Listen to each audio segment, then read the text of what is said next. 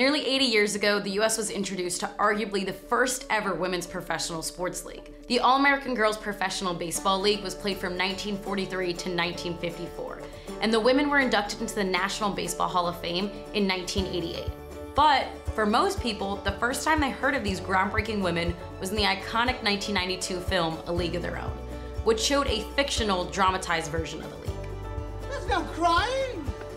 There's no crying in baseball! The league was played by over 500 women and helped trailblaze a path for women in sports. It gave us a chance to do what we want. It's opened the door for us girls in, in all, all phases of sports. And uh, I think it's the most wonderful thing that ever happened. Maybelle Blair played in the original league for the Peoria Red Wings in 1948 and served as a consultant for the Amazon Prime revival of A League of Their Own.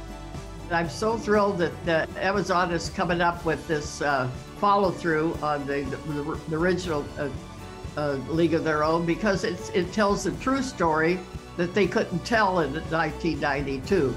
And uh, it just it just thrilled me all through my bones is that it's coming finally coming out that tells the whole, whole true story.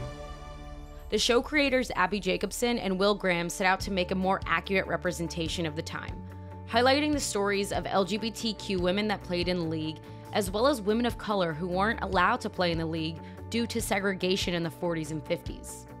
Maybelle said that working with Jacobson and Graham on creating a real depiction of what the league was like is what gave her the courage to come out as gay for the first time at 95 years old. I hid for uh, 95 years that I was gay. And uh, I finally had an opportunity to come out, and and thanks to Will and Abbi, uh, I did. And I was sitting there, and I said, I don't know what I said. I said I was, and all of a sudden I blurted out. I think it's a great opportunity for these young girl ball players to come realize that they're not alone, and you don't have to hide.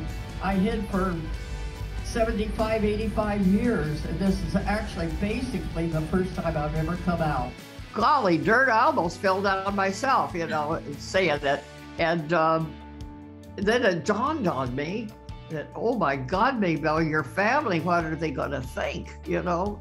Because I've hid it for that many years. Mm-hmm. And so the next day, the phone started ringing, and they all told me, Hey, Aunt Maybelle, don't you worry. We love you for what you are and not you to worry one bit. And we're very proud of you for coming out.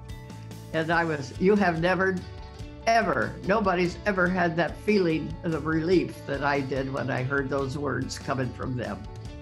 When I spoke with Maybelle, she told me one of the greatest joys of being in the league for her and some of the other women was that they finally found a place they could be themselves. I thought I was the only one in the world, Vanessa, that uh, was like I am, you know. I had a little girlfriend in high school my senior year, and uh, I thought we were the only two in the whole world. Oh, only two in the whole world. I went back there, and it was like a party. The door opened up because there they were, just like me. You oh know, my God, we all were thrilled to death, you know, that we met each other and what have you. It was the most wonderful part of my life. You know, they thought was the baseball. It wasn't only the baseball, it was the camaraderie ship that we could share with each other that we were gay.